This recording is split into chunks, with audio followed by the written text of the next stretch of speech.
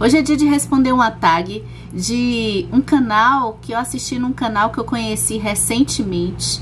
Estou apaixonada pelas meninas. Gente, vocês precisam conhecer esse canal. Parece uma raridade, parece uma pérola aqui no YouTube, que é o canal As Primas de Braid Strass. A proposta do canal é elas discutirem bem devagarzinho leituras de grandes obras, né, clássicos e livros relacionados aos que elas estão lendo.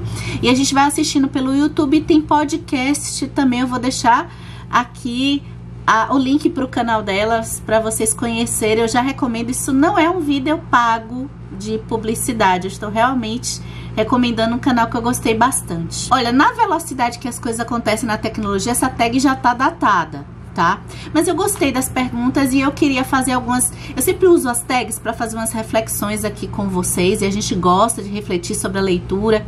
E foi relacionada essa tag... É, ela tá relacionada a uma treta que aconteceu em 2023 com o Felipe Neto, famoso youtuber, em que ele comenta, fala assim, mete o pau no livro é, do Matt Haig que se chama Biblioteca da Meia-Noite. Eu não sei se, é, se vocês vão se lembrar dessa treta. E resumindo, assim, é que ele comentou que esse livro era muito ruim, na opinião dele, e que ele estava incomodado com as pessoas que estavam. Esse livro muita gente gosta.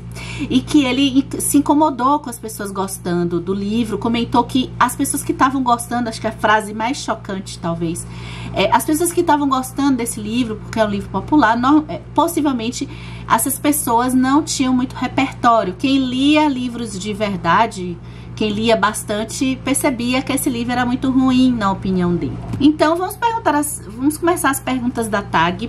É, eu já adianto que eu fui, eu já tinha lido a Biblioteca da Meia-Noite antes da treta e eu tinha comentado que eu gostei. Eu gostei da Biblioteca da Meia-Noite, então eu tô na lista dos leitores que tá precisando melhorar como leitor. Bora discutir essas perguntas da tag porque eu acho que dá um bate-papo bem interessante. A primeira pergunta, a pergunta número um, é você falar de um livro que você odiou. E então eu já começo meio flopando na pergunta, porque é, eu escolhi, eu vou comentar aqui alguns livros, mas no geral, os livros que eu odiei, né, usando essa palavra odiar, né, que eu detestei, pode se aplicar também. Normalmente eu não termino a leitura. Eu, quando eu comecei a ter hábito de leitura, é claro que teve algumas fases que eu ia é, não gostando de um livro, mas eu não chegava a concluir assim a leitura e eram livros de nicho tão específicos. E não que eu é, tenha odiado, mas assim, eu vou trazer um mais recente que aconteceu isso, deu, poxa, eu não tô com saco para ler e não é nem desses que eu quis manter aqui na minha estante. Olha, eu li o Alexandre, é, Alexandre Dumas, ou Alexandre Dumas, e gostei bastante do Conde de Monte Cristo, de vez em quando tô falando dele aqui no canal. E aí eu fui ler Os Três Mosquiteiros, do mesmo autor, foi o segundo Dumas que eu li, só que eu não gostei, eu comecei a encher o saco daquelas aventuras. E na parte audiovisual eu gosto bastante da temática dos Três Mosquiteiros. Eu trouxe um outro aqui que a leitura está em andamento. Se eu mudar de opinião... Aí eu venho aqui nos comentários do meu próprio vídeo e falo, tá? Eu trouxe aqui um que tá em andamento, que é o, Jantar Secreto, do Rafael Montes. É o segundo livro do autor que eu tô lendo. O que, que aconteceu com esse livro? Ele é uma espécie, assim, de aventura, suspense e bem mórbida. Só que o autor, eu não esperava que o autor levasse isso pro lado do humor. Os personagens bem caricatos, acontecem uns absurdos nessa trama e tem a ver um pouco com o silêncio dos inocentes, né? Ele tem a ver com canibalismo, é, carne humana, essas coisas. Só que eu acho que não foi meio que um momento muito certo, porque eu tô sem saco para ler. Só que ao mesmo tempo eu tô curiosa para saber como é que vai ficar o final desse livro. Tô ainda aqui e fica aqui. Não estou odiando, mas tá um livro que eu olho assim, poxa, eu não tô com vontade de ler ele hoje. A pergunta número dois é qual livro dessa desses best sellers, né, muito vendido, que você leu e você gostou. É interessante que lá atrás eu fiz um vídeo sobre um famoso que eu me surpreendi positivamente, que é o É Assim Que Acaba, da Colin Hoover. A Colin Hoover tem uma legião de pessoas que gosta muito dela, de muitos livros dela, os livros dela estão bombom, bombando. E também eu é, chegou até mim assim, muitos conteúdos, muitas pessoas comentando de ódio da Colin Hoover. Então, eu acho que o autor muito vendido, ele carrega um fantasma em que muitos leitores, e eu acho que um determinado tipo de leitores, que tem uma rejeição imediata somente porque se o autor vende muito, é porque ele é ruim. E eu não sei se a gente se a gente deve ter esse tipo de a gente deve tra trabalhar para quem tem um pouco é, assim eu também eu também tenho um pouco de olhar com desconfiança determinados livros, especialmente de público jovem, que faz muito sucesso, mas é bom a gente dar uma chance. Eu sou daquelas que gostou de É Assim Que Acaba, tem um vídeo aqui, dá pra gente extrair alguns debates interessantes sobre o livro. Eu trouxe um outro aqui de uma autora nacional que também meio que dividiu opiniões, e é interessante os, os livros que conseguem separar assim essas opiniões de amor e ódio, eu trouxe o Tudo é Rio, que também não foi assim a última pizza da mesa, mas eu achei ele, ele muito interessante, especialmente é, é, se a gente não só se a gente ainda que a gente não concorde com algumas decisões da autora aqui, eu acho que a execução, a forma que ela executou o tema da redenção da possível redenção ou de um possível perdão. Eu gostei dessa forma, justamente porque eu acho que esse é um livro que causa um debate. É uma coisa interessante para a gente parar para pensar com relação a esses livros que às vezes ficam popularizados e aí ficam uma, fica uma espécie de embate é, entre quem gosta e quem não gosta, é perceber que falar mal de um livro é ok. A gente tem que tomar cuidado somente com algumas posturas que eu percebo. E eu tomo cuidado para não ser essa pessoa. É que falar mal de um livro tem que se restringir mais ao livro propriamente dito, né? Porque existem algumas abordagens de se criticar quem gosta do livro também. Parece que se estende a forma de crítica a, ou quem gosta do livro é porque concorda com as coisas que o livro está abordando. Então, isso eu acho que é uma coisa legal pra gente pensar. Pergunta número 3 é um autor pop, popular, que você leu, gostou e depois procurou ler mais coisas sobre ele. Olha, tem é, A Casa do Marcerulho, do T.J. Klum, que eu já via é, muita gente gostando dele. Ele foi se tornando popular e eu é, me apaixonei por esse livro aqui. Peguei, fui atrás de mais coisa, mas ainda não li. Eu preciso parar com esse hábito, tá? Então eu peguei dele aqui Além da Porta Sussurrante, mas ainda não li. No caso do TJ Klune, eu não vi também muito hate pra ele não, tá? Agora tem um que tem pessoas que falam muito mal, que escreve mal. Só que assim, eu já li livros dele que eu entendi essas críticas da escrita, da construção de personagens bobos, humor, às vezes meio é, oitava série. Mas assim, tem coisas boas do autor, tá? Então, é o Harlan Coben que eu devorei há um tempo atrás, né? Ali no meu começo de hábito de leitura, vários livros do autor.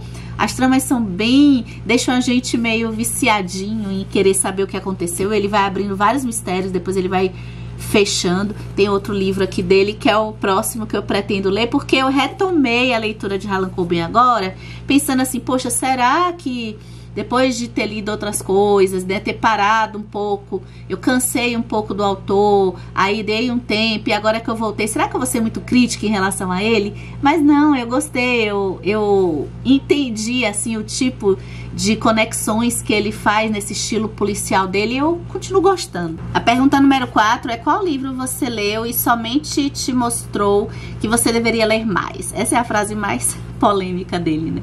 Porque você gostou de um livro de baixa qualidade. E você deveria ler mais para saber o que é realmente bom. Olha, essa pergunta é, eu vou ter que responder, na verdade, eu acho que é uma biblioteca da meia-noite, pela lógica do, do Felipe Neto, né? Se eu gostei é porque eu precisava ler mais.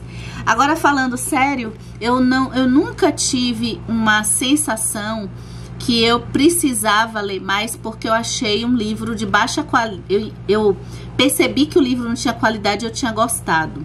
Até quando eu comecei a ter hábito de leitura lá com a Academia de Vampiros, 50 Tons de Cinza, que eu lia como comédia um monte de livro erótico, uns eu não gostava, outros eu gostava. Até ali eu não achava assim, olha, eu sei que esse livro é ruim, mas eu tenho a sensação que eu gosto porque eu preciso ler mais. Eu não, eu não tinha essa percepção, não, não passava isso pela minha cabeça. Mas eu queria colocar aqui alguns livros que aí sim eu comecei a ler livros de em que eu achava que eu precisava ler mais para poder aproveitar esses livros melhor. Um que é bem assim inesquecível na minha vida de leitura é a virada de chave depois que eu li o Orlando da Virginia Woolf. Foi o primeiro romance da Virginia Woolf que eu li.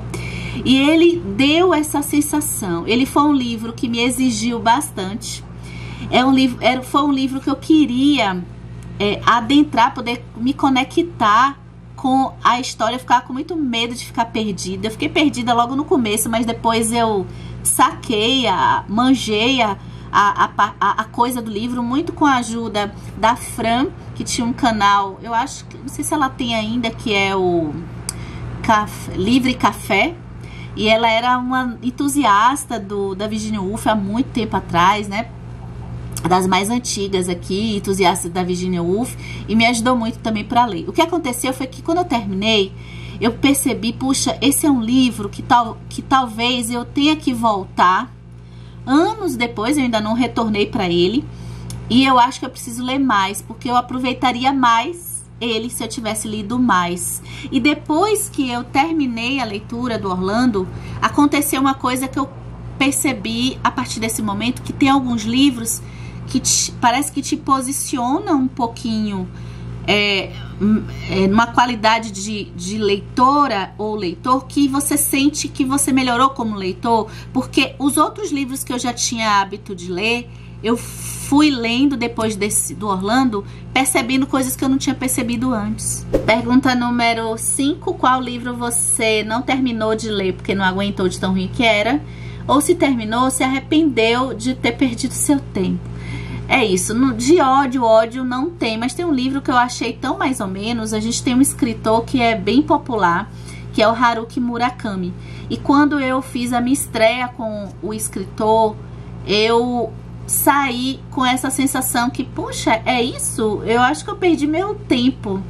Foi um pouco essa sensação. Não foi um livro que eu detestei, mas também foi um livro muito chuchu, que eu chamo chuchu livros que poderia não ter lido.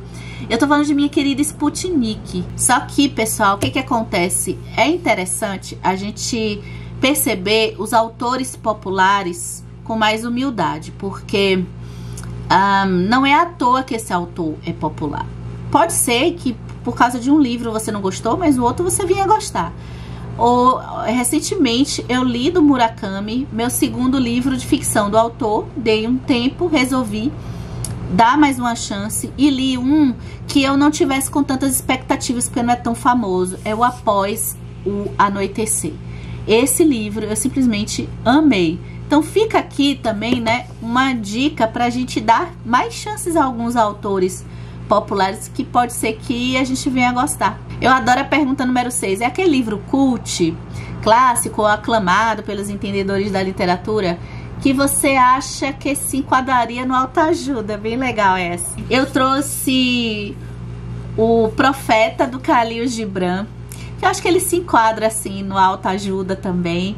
Ele, na verdade, é percebido muito, assim, ele tem uma, uma complexidade maior até do que a simples autoajuda, mas ele também se, se encaixa, eu acho que no, do tipo.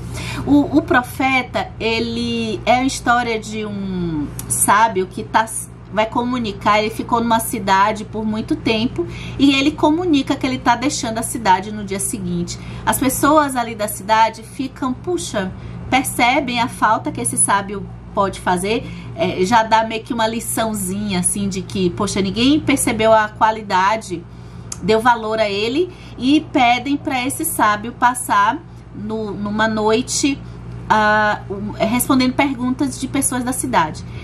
E cada capítulozinho é uma pergunta que as pessoas, cada pessoa da cidade vai fazendo em relação a diversos assuntos existenciais da vida e ele vai respondendo. As respostas são curtas, então é aquele tipo de livro que dá assim para você meio que abrir um dia e ler. Só que as, essas respostas curtas têm bastante desdobramentos. Então assim, por exemplo, ó, como ele encaixa sobre do autoajuda, porque por exemplo, tem uma parte aqui que vai ser fale sobre os filhos. Aí em outro capítulo, depois eu comprei o livro físico porque eu, eu li no Kindle e adorei, ó é, fale sobre a casa. E aí ele fala sobre a casa. As reflexões são muito boas. Ele parece com aqueles livrinhos Minutos de Sabedoria. Ele fale sobre as leis. Quando eu li, eu fiz também, eu assisti a um canal que ele dá uma aula, a professora Lucelena, ela dá uma aula para cada capítulozinho de resposta, que às vezes é uma página só, mas ela dá uma aula para cada um e tem uma playlist lá. O canal é a Nova Acrópole. Outro livro que se encaixa na autoajuda, mas é estudado na filosofia também, é a Meditações do Marco Aurélio. Ele dá conselhos sobre amizade, ele, ele é bem assim materialista, ele fala muito da prática, da, de uma espécie de ética prática, ao invés de ficar somente falando as coisas do ponto de vista abstrato. São conselhos que se encaixam é, no estilo autoajuda. E dizem, eu já vi pessoas falando que a filosofia estoica como um todo pode se encaixar perfeitamente no estilo autoajuda. E tem também um que as meninas lá da, do canal da prima, das primas elas falaram eu concordo. Eu li esse ano também o Cartas a um Jovem Poeta do Rilke. E ele se encaixa realmente também no estilo autoajuda, porque o Rilke está respondendo um jovem rapaz que se queixa o tempo todo de várias coisas e ele fica dando conselhos. Então, também se encaixa, mas são as três leituras, esses três eu recomendo bastante vocês conhecerem. E por fim, para a gente terminar, é a pergunta 7: que livro você pensa? Se eu tivesse lido, seria uma pessoa melhor. Tema da Biblioteca da Meia-Noite, né? Que é, se passa um pouco muito por essas escolhas que fazemos e as consequências dessas escolhas. Olha, eu trouxe um livro, eu vou contar uma historinha aqui, que uma, por um período de tempo é, eu tava com duas amigas e na época colegas de trabalho lendo livros e a gente saía para os para um café para conversar sobre os livros, né? Leitura conjunta só que de um jeito mais íntimo, mais intimista, foi um período legal. E um dia a gente estava num café discutindo, não me lembro o livro que a gente estava discutindo. E aí uma moça, tinha uma, é, é, uma pessoa sentada ao nosso, ao nosso lado, é, e essa moça se aproximou, falando assim: Puxa, que bacana vocês se encontrarem assim para conversar de um livro. Eu vou deixar aqui um livro que vocês vão amar. Ela falou muito que essa, que essa prática é muito rara dela ver. Ela era professora e, e ela deixa pra gente uma dica de um livro que até então é, não tava. Eu conheci a autora por artigos, mas uh, o livro eu não sabia sobre ele. Ele não estava no radar que hoje ele está mais popularizado. E eu tô falando de Um Defeito de Cor, da Ana Maria Gonçalves. Na época, foi difícil achar esse livro para comprar, ó. É uma edição mais antiga, eu acho que eu comprei na estante virtual, talvez. Foi difícil achar, ele não estava tão no auge assim. Ainda bem que a situação melhorou. Só que aí, toda hora que eu ia ler esse livro, é, eu também vi uma crítica negativa dele e me desestimulei, mas eu queria passar pela jornada que parece que acontece aqui. Só que eu acabou que sempre vai, é um calhamaço, né? Sempre vai outro na frente. Eu tenho a impressão que é um livro que eu queria ter já lido antes. Eu acho que eu perdi o time para ler. Eu acho que esse time vai chegar e eu mantenho ele aqui, tava lá em cima no armário, eu desci para pegar porque eu ainda quero ler. E outro que eu acho que já era pra eu estar tá, assim, numa releitura, não que eu tenha pressa, mas eu, puxa vida, é, esse é um livro que é para ler, reler, talvez ler todo ano, ou ler de dois em dois anos.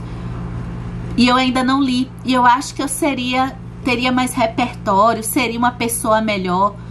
é, se eu já tivesse lido o Hamlet do Shakespeare. São tantas abordagens. É, eu não sabia, até há uns seis anos atrás, eu não sabia, ou talvez até mais, eu não sabia que o, o Rei Leão, que é um das minhas animações da minha vida, era uma releitura do Hamlet. Só que eu não sei por qual razão, esse livro talvez me assuste um pouco, eu ainda não enfrentei ele. Esse aqui eu, eu acho que está mais perto de eu ler do que o Defeito de Cor. E eu queria já estar tá mais avançada em releituras do, do próprio Hamlet. Mas eu fiz outras escolhas, sei lá, eu já passei por algumas leituras do Dostoiévski, então eu já posso reler e encontrar mais reflexões nas obras dele. É, eu acho que vale a pena a gente pensar os livros populares, ainda que pessoas critiquem, a gente tentar superar, atravessar esse impedimento para a gente dar a chance de ter as nossas impressões. É interessante a gente buscar não se contaminar com, às vezes, o clima de gozação que tem com alguns livros, tá? Então, na minha opinião, Biblioteca da Meia-Noite, ele é sim um livro bom. Pode ser que você goste dele. Sem contar que eu acho que o tema dele é um tema que com certeza vai conversar com a, praticamente todo mundo, que é o tema das escolhas, do efeito das escolhas que a gente faz na nossa vida. Será que teria outros contornos a nossa vida dependendo das escolhas que a gente faz. Até porque a gente está vivendo no tempo presente, no aqui e agora. Então a gente está escolhendo aqui e agora tantas coisas que vão repercutir lá na frente. Atenção com as nossas escolhas.